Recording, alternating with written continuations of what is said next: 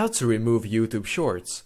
Hello everybody and welcome to this video where I'm going to show you exactly how to remove YouTube Shorts from your YouTube mobile app. But make sure that you watch this until the very end so that you don't make any mistakes in this process.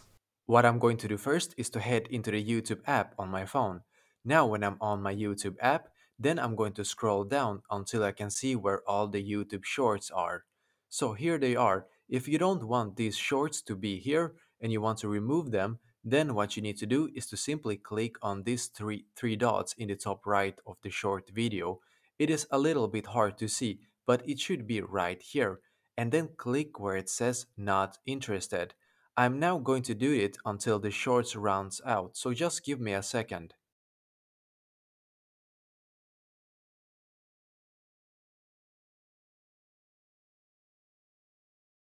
Now as you can see all the shorts are gone and when I refresh and come back then it's still gone.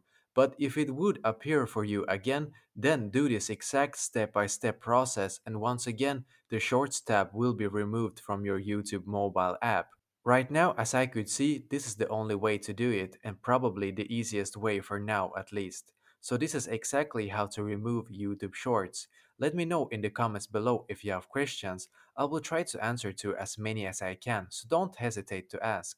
And also, don't forget to leave a like on this video and subscribe to my channel because I'm doing a lot of helpful videos constantly that might be useful to you. Thank you very much for watching and I wish you a good day.